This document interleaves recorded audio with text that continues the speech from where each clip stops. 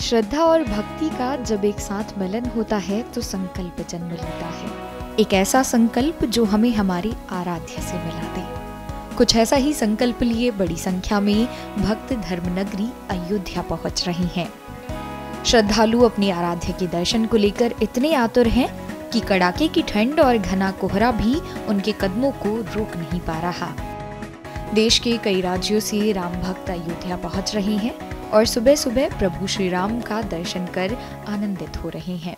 बहुत बढ़िया लग रहा है और इच्छा जो थी आज तो पूरी हो गई वापस दर्शन करके वापस कोशिश करेंगे दोबारा जल्द से जल्द आए। और बहुत ही बढ़िया मतलब क्या बताए कुछ चीज़ें शब्दों में बयान नहीं होती हैं उनमें से ये भी एक है। कैसा लगा दर्शन बहुत बढ़िया बहुत बढ़िया। सब कुछ बदल गया है। मैं पिछले साल आया था तो उस समय तो सिर्फ़ कुछ भी नहीं था। सिर्फ़ स्टार्ट था और आज देखिए एक साल में इतना परिवर्तन है।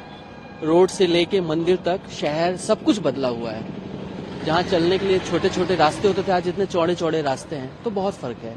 वहीं कुछ राम भक्तों का ये भी कहना है कि एक साल पहले की अयोध्या और अब की अयोध्या में ज़मीन आसमान का फ़र्क है।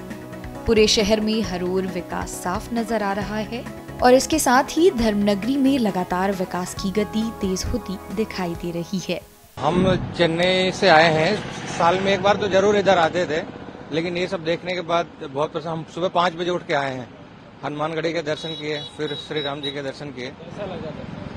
बहुत ही मतलब मेरा तो रोआ रोआ खड़ा हो गया सब देख के। मतलब अंदर से इतनी खुशी हो रही है, हम बयान नहीं कर सकते। ये हमारा हालत है।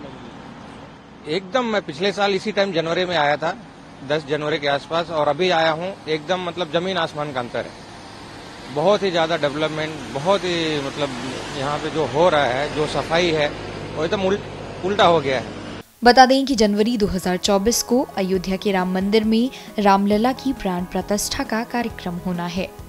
रामलला की प्राण प्रतिष्ठा को लेकर पूरे देश में खुशी और उत्साह का माहौल है। हर कोई प्रभु श्री राम की सेवा करने में लगा हुआ है। तो वहीं प्राण प्रतिष्ठा को लेकर प्रशासन और सरकार ने भी लगभग सभी तैयारियाँ पूरी कर ली।